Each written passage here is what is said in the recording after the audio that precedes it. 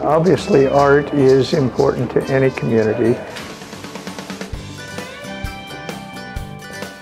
The Fort Collins Museum of Art is really uh, the primary source for art in northern Colorado.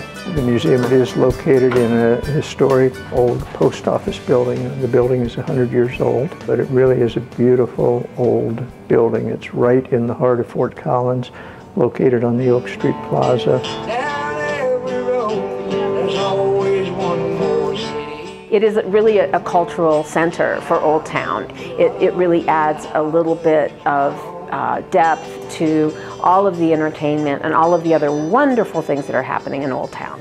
I wanted to see a little bit more of Fort Collins culture, so I came to the Fort Collins Museum of Art to see the mask exhibit. And uh, I saw lots of really cool masks, and it was, it was a pretty fun experience. Even though it's in an old building, we try to bring in art exhibits that are vibrant and attractive to uh, young people and old people alike.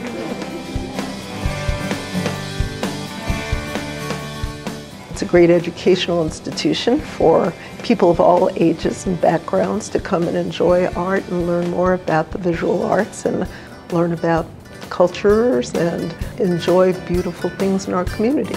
But it is a real challenge. The museum is a private nonprofit organization, has no subsidy or support from any governmental entities. We do need the help of the public. We need donors, founders, sponsors to provide money to keep the museum open. And I believe if business and the economy is the lifeblood of a community, art is its soul. The Fort Collins Museum of Art puts that soul on display for all to see. I just hope we continue to bring more and more people to the museum to enjoy it.